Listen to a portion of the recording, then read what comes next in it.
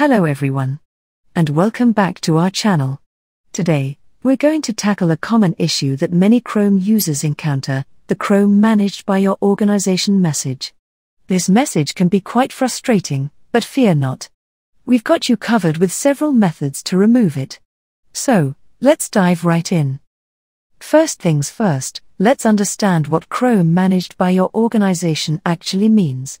This feature is designed for information technology administrators to manage Chrome settings for users within their organization.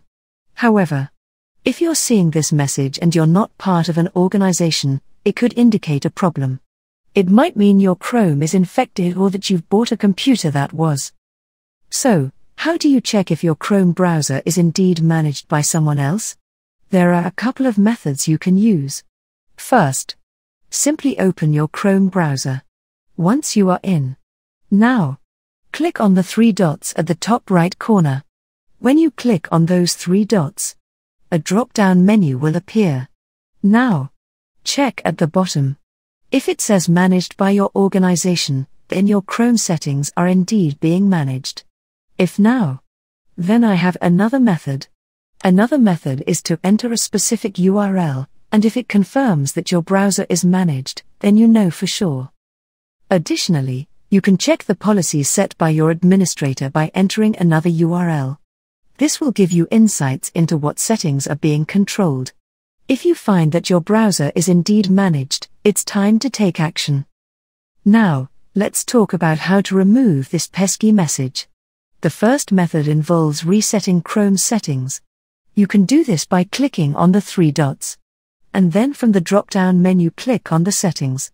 Then at the left side, click on the Reset Setting option. And then click on the Restore settings to their original defaults.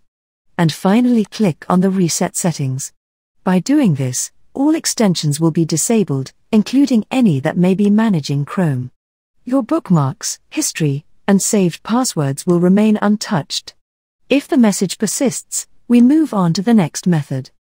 The second method involves delving into the registry. Here, we'll be removing any malicious policies that might be causing the issue. We'll navigate to specific folders, delete certain entries, and update policies via the command line. So, click on the search bar and type run. And then from the results, click on it. And then, a format will appear. In the format, type regedit when you type it. Click on the OK. Now. You will see multiple folders. Now. Scroll down until you see Policies folder. When you find it, then click on the arrow that is near the Policies. When you click on it, a few options will appear in front of you. Now, you will see Google in the list. And you will see that there is also arrow near the Google. Click on the arrow. When you do this, a option will appear that will be Chrome. So, select it, and then right click on it. And then from the menu, click on the delete, and then click on the yes to confirm. And it will be done. This can be a bit technical, but it's effective in many cases. Now, the next step is to delete the policies folder from the System32. So, open File Explorer on your PC. Now, Open the local disk C of your PC. Now, you will see multiple tabs at the top.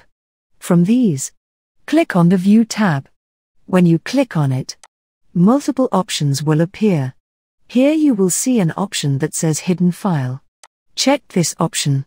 When you checked it, you will see that few more folders will appear. Now, find the Windows folder in the list. When you find it, open it up. Now. Once you are in. Now. Scroll down. Until you find System 32. When you find this folder, double click to open it. Once you are in. Now. Again scroll down. Until you find Group Policy and Group Policy Users.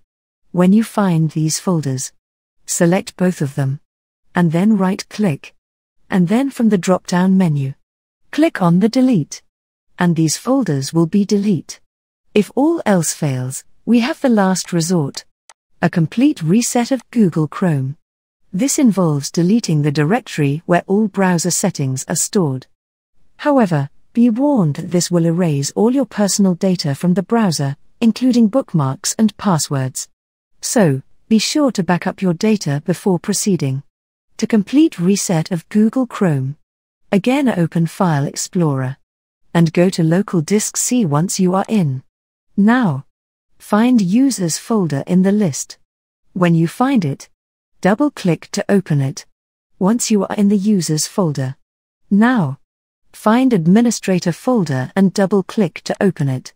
In the Administrator folder, you will see an folder that says App Data. Double click to open it. Now, in the folder, you will see Local folder that will be first folder. Double click to open it up. Once you are in this folder. Now, scroll down until you will see Google folder.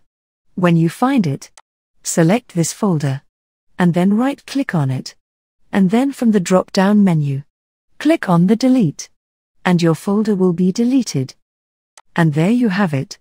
Several methods to remove the Chrome managed by your organization message from your browser. If you found this video helpful, give it a thumbs up and subscribe to our channel for more tech tips and tricks. Thanks for watching.